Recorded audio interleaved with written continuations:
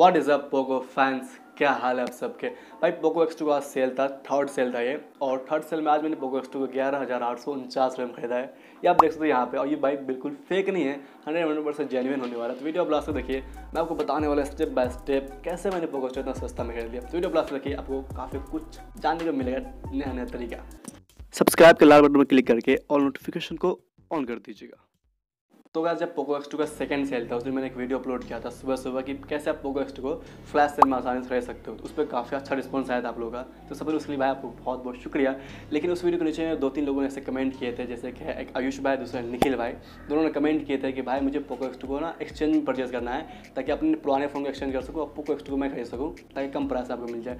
लेकिन जब मैं पोको एक्स एक्सचेंज करने आता हूँ तो फ़ोन जो आउट ऑफ़ स्टॉक आता है इसके लिए आप कुछ करो ताकि कुछ बताओ हमें तो कैसे हम पोको एक्स को एक्सचेंज में खरीद सकते हैं। मैंने उनको ही रिप्लाई किया था भाई मैं आपकी हेल्प ज़रूर करने वाला हूँ। इसके ऊपर मैं दो तीन लोगों से मैंने बात किया था मैंने रियल मैंने पोको इंडिया को मैंने टैग किया था, मैंने सवाल पूछा था कि इसको सोल्यूशन निकालो, लेकिन उन लोगों ने कुछ नहीं बताया भाई।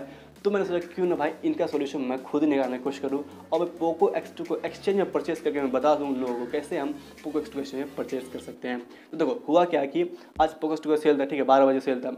तो मैंने क्या किया, ग्यारह बज के पचपन मिनट पर मैंने तैयारी करना स्टार्ट कर दिया। ग्यारह बज पचपन मैंने सबसे पहले तैयारी क्या किया, मैं गया जो मेरा जो मेरा फ़ोन का जो एयरप्लेन मोड है उसको मैंने ऑन किया। जब ऑन किया दोबारा मैंने उसको ऑफ़ कर दिया। इससे क्या फ़ायदा होता है? नेटवर्क चेंज हुआ था आपकी स्पीड जो काफ़ी अच्छी बढ़ जाती है, दूसरे नए नेटवर्क से कनेक्ट होने के बाद। उसके बाद मैंने क्या किया फ्लिपकार्ट ऐप को ओपन किया। एक बारह नहीं बजे तो सो, ठीक है? फ्लिपकार्ट ऐप को ओपन किया मैंने।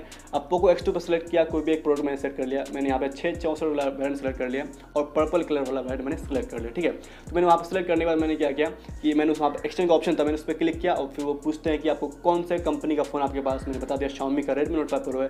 जब मैंने इतना कह दिया, उसके बाद वो बोलते हैं, ठीक है, आप अपना आई नंबर दीजिए, ठीक है? तो मैंने फटाफट star hash zero six hash click करके अपना आई नंबर फ़ोन को निकाल लिया। वहाँ पर मैंने उसको डाल दिया। जिसमें वहाँ पर मैंने डाला तो बता था भाई, आपके फ़ोन का प्राइस है वो करीब चार हज़ार समथिंग होने वाला है। मतलब मेरे फ़ोन का प्राइस सत्रह हज़ार था, जब मैं सत्रह हज़ार करता था, उसका पूरा चार हज़ार बता रहा है चलो, कोई दिक्कत नहीं तो जैसे सुबह मैंने जैसे क्लिक किया वेरीफाई किया तो वो बोल रहा है ये आपको पोको एक्स टू करीब ग्यारह हज़ार आठ सौ उनचास रुपये में आपको मिल जाएगा। ठीक है? उसके बाद मैंने क्या किया, जैसे मैंने ओके किया तो वो बोल रहा है, भाई, अगर आपका फ़ोन में कुछ डैमेज वेमेज हुआ तो आपको अलग से प्राइस आपको देना पड़ेगा, तब आप पोको एक्स ले सकते हो, ठीक है? इतना मैंने क्लिक किया, उस, इतना मैंने कर दिया, उसके बाद मैं बस ऐड टू कार्ड जैसे मैं क्लिक कर रहा हूँ तो फ़ोन ऐड टू कार्ड नहीं हो रहा है। तो मैं जान गया, भाई फ़ोन ऐड टू कार्ड क्यों नहीं हो रहा है? क्योंकि फ़ोन अभी सेल पर आया ही नहीं फ़ोन ऑर्डर है फ़ोन और स्टॉक ही में नहीं है। तब भी मैंने क्या किया, वहाँ पर बार बार बार बार बार बार टू कार्ड कर रहा हूँ, बार बार टू कार्ड पर क्लिक कर टू कार्ड पर क्लिक कर रहा हूँ। लेकिन जब ग्यारह बज के उनसठ मिनट हुआ, भाई, ग्यारह बज के उनसठ मिनट हुआ, उस मेरा फ़ोन जो ऐड टू कार्ड में ऐड हो चुका था। तो उसने बोल रहा भाई, मुझे इतना बोरिंग लग रहा था उसको करने में, लेकिन आप सब के भाई, आपका क्वेश्चन था। मुझे आपके लिए तो कुछ ना कुछ हेल्प करना ही है। मैं बार बार एड टू कार्ट कर रहा हूँ। और करीब ग्यारह बज के उनसठ मिनट मेरा फ़ोन जो है एड टू कार्ट हो गया। जब मैं प्लेस ऑर्डर करने के लिए गया तो देखा, भाई, इस कार्ट में मेरे बहुत सारे प्रोडक्ट हैं और करीब उसका प्राइस चालीस हज़ार से ऊपर जा रहा है। चालीस हज़ार के प्रोडक्ट चालीस हज़ार के प्राइस के प्रोडक्ट को मैं कैश ऑन डिलीवरी नहीं कर सकता हूँ। तो जब तक मैं उस सारे प्रोडक्ट को हटाता, तब तक फ़ोन जो है आउट ऑफ़ स्टॉक हो चुका था। अब मैं सोचा दिमाग ख़राब हो गया, मेरा मैं क्या कर रहा भाई, फिर से दोबारा मैं चेक कर रहा हूँ, देखा आउट ऑफ़ स्टॉक अब फ़ोन स्टॉक में ही नहीं रहा है स्टॉक में ही नहीं रहा है। लेकिन मैं हार नहीं माना भाई बोला, नहीं, ये तो होगा भाई, किसी भी हालत में इसको होना ही पड़ेगा। फ़ोन दोबारा सेल पे आता मैं दोबारा प्लेस ऑर्डर करता हूँ। जैसे प्लेस ऑर्डर करता हूँ फ़ोन वापस से आउट ऑफ़ स्टॉक अब मुझे लगा, भाई, ये फ़ोन नहीं हो पाएगा, इससे ऑर्डर नहीं हो पाएगा। मैं फटाफट क्या किया, अपना स्क्रीन रिकॉर्ड जो रिकॉर्ड कर रहा था, उसको मैंने ऑफ़ कर दिया। ऑफ़ करने के बावजूद मैं जैसे मन में कह रहा था कहीं से कि, नहीं भाई फ़ोन तेरा ऑर्डर हो जाएगा। मैं बार बार बार वहीं पर रुका हुआ रुका हुआ रुका हुआ, दो बार फ़ोन यहाँ पे आउट ऑफ़ स्टॉक में आ चुका। मैं जैसे क्लिक किया वहाँ पे, एक बार नहीं हुआ, दोबारा जैसे मैंने क्लिक किया तो फिर मेरा, फटाफट मेरा फ़ोन स्टॉक में फ़ोन फटाफट मेरा ऑर्डर हो गया। और मेरे एड्रेस पे आ चुका तुरंत मैं फ्लिपकार्ट की तरफ़ से कॉल भी आ चुका कि आप ये प्रोडक्ट लेना चाहते हो कि नहीं, मैंने ओके कर दिया। इस तरह मेरा प्रोडक्ट जब पोको एक्सटू ऑर्डर हो चुका था।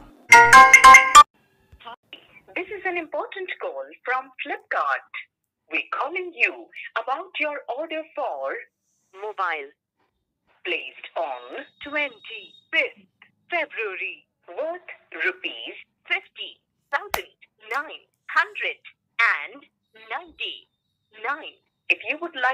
continue with your order, press 1.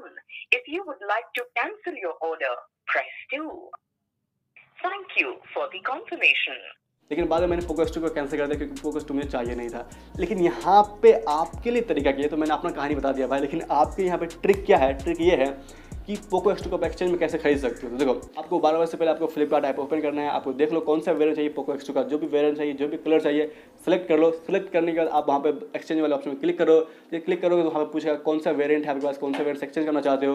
वो क्लिक कर दो आई एम नंबर वहाँ पर डाल दो वेरीफाई करवा दो। आपको प्राइस बता देगा कितने पैसे में आपका फ़ोन मिल जाएगा पोको एक्स जो इतना मिल जाए उसके बाद आपको एड टू कार्ड पर लगातार क्लिक करते रहना क्लिक करते रहना है। जैसे क्लिक हो जाए ग्यारह बजे उनसठ मिनट पर बारह बजे पे, आपको आसानी से आपको पोको एक्स टू जो ऑर्डर हो जाएगा। आपको यहाँ पर ध्यान रखना है कि आपके कार्ट में कुछ और दूसरे प्रोडक्ट ना हो, ताकि आपको आसानी से आपका पोको एक्स जो ऑर्डर प्लेस हो जाए और आसानी से आपको मिल जाए। तो ये तरीका भाई। कुछ भी चाहो तो वीडियो को लाइक कीजिए चैनल को सब्सक्राइब करके ऑल ऑन कर दीजिएगा और वीडियो को हो सके तो शेयर भी कीजिएगा। और कुछ भी पूछना हो तो कमेंट में ज़रूर पूछेगा मैं उसका रिप्लाई हंड्रेड वन परसेंट ज़रूर दूँगा।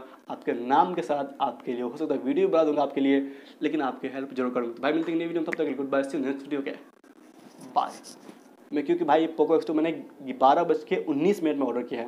वीडियो में कुछ भी डाउट हो, कुछ भी समझ में नहीं आया तो कमेंट में ज़रूर पूछे मैं उसका रिप्लाई ज़रूर कर दूँगा।